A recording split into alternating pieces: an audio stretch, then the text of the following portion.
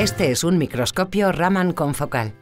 Es una técnica de caracterización espectroscópica que se basa en hacer incidir un haz de fotones que provienen de un láser monocromático sobre una muestra y analizar los fotones que devuelve la muestra debido al efecto Raman. Los fotones generados por el láser se conducen mediante fibra óptica hasta el microscopio y a su vez hacia el objetivo, de forma que alcanzan la muestra que se sitúa en el portaobjetos. Cuando el láser incide sobre la muestra, sus electrones se excitan hasta un nivel energético superior y después se relajan volviendo a caer hasta el mismo nivel energético, emitiendo luz de la misma energía, por tanto, de forma elástica. Sin embargo, una cantidad muy pequeña de electrones se relaja a un nivel vibracional más alto del original, liberando de esta forma una energía un poco menor que la del láser incidente. Esto es lo que se conoce como efecto Raman. Todos los fotones reflejados por la muestra, tanto elástica como inelásticamente, se dirigen hacia la parte superior, donde se sitúan los oculares. Tenemos entonces dos opciones. Podemos conducirlos hasta una cámara óptica que nos permite ver la muestra como en cualquier otro microscopio, o podemos, de forma alternativa, conducir esos fotones por otra fibra óptica hasta un detector. Para evitar que lleguen al detector fotones de la misma longitud de onda que la fuente láser, se pone un filtro antes para que al detector solo lleguen los fotones reflejados de forma inelástica. El efecto Raman es poco eficiente, la muestra solo devuelve un fotón de menos energía por cada millón o 10 millones de fotones incidentes del láser. Al ser tan poco eficaz, necesitamos fuentes que emitan muchos fotones y detectores muy sensibles. Esta es la fuente de luz láser, que debe ser monocromática y que normalmente es de una longitud de onda en el rango del visible. Y este es el detector, que consiste en una cámara CCD. La luz que llega de la muestra a través de la fibra óptica es separada en sus diferentes componentes mediante una red de difracción y después detectada por la CCD. De esta forma, el detector registra por separado y a la vez cada componente de la luz, y así obtenemos en unos pocos milisegundos el espectro Raman completo de cada punto de la muestra sobre el que incide el haz láser. Este otro componente es un potenciostato, es fundamental medir la potencia del láser que incide sobre la muestra para evitar quemarla. Para ello, se libera una posición de objetivo en el microscopio y se sustituye por un potenciostato. Para la mayor parte de los estudios se usan potencias alrededor del milivatio.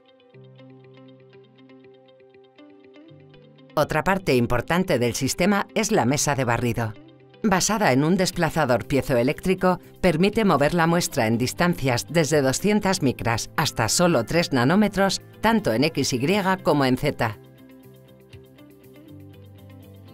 Ahora vamos a trabajar sobre una muestra concreta de cerámica. Colocamos la muestra y nos servimos de la luz auxiliar y de la cámara óptica del microscopio para enfocar y buscar posibles zonas de interés. En estos momentos todavía no estamos utilizando la luz láser. Una vez localizada la zona a estudiar, definimos el principio y el final de la zona de barrido. De esta forma, la mesa piezoeléctrica se irá desplazando bajo esta acotación.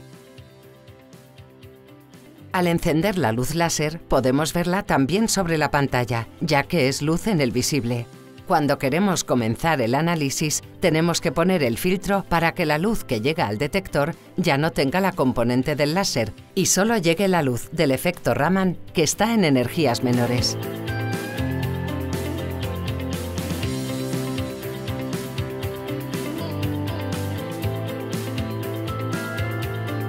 Lo que vamos a ir haciendo es esto.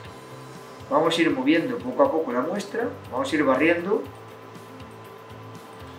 ese punto de luz vamos a ir barriéndole a través de la muestra. El microscopio tardará un tiempo en hacer el barrido, no solo porque tiene que hacer el desplazamiento, también porque cada punto de análisis necesita un determinado tiempo de integración, un tiempo durante el cual el detector tenga suficientes fotones Raman para que la medida sea fiable. El resultado final es un mapeo de espectros en un área determinada, Obtenemos miles de espectros, uno por cada punto. Esto supone una cantidad de información enorme y después puede ser analizada de muchas formas diferentes y permite caracterizar el material con mucho detalle.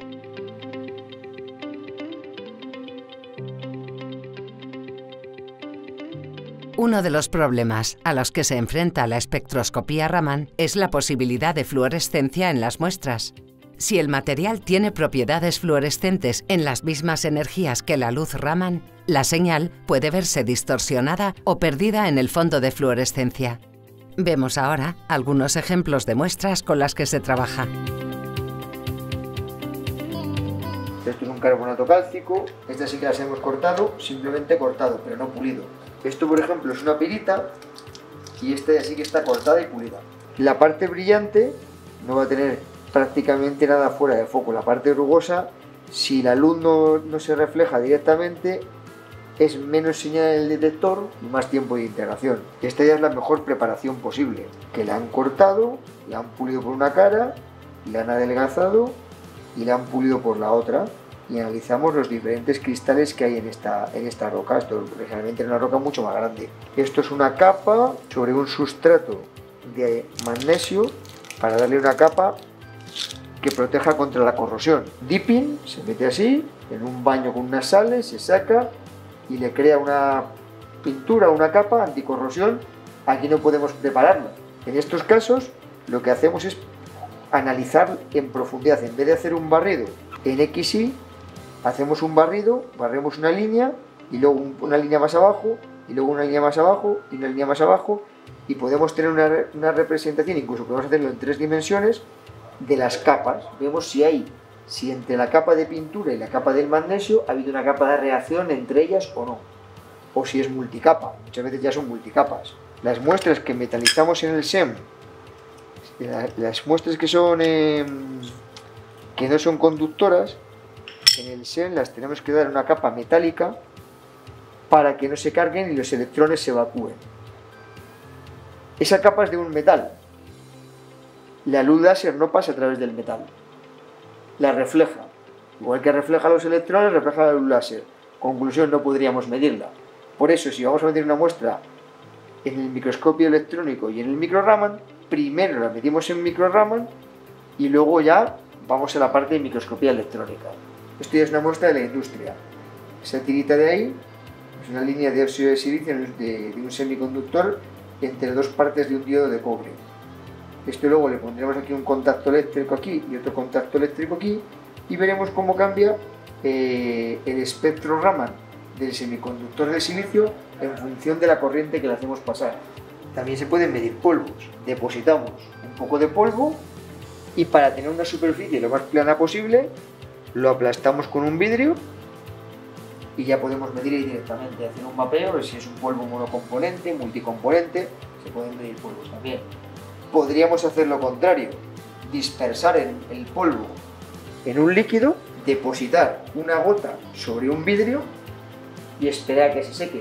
Lo dispersamos, por ejemplo, en etanol y esperamos a que se seque. Incluso líquido, se puede medir dentro de un líquido. No hay mayor problema. Como conclusión, podríamos decir que la microscopía Raman es una técnica de caracterización espectroscópica de materiales que nos permite obtener información tanto estructural como composicional, con resolución espacial submicrométrica en las tres dimensiones.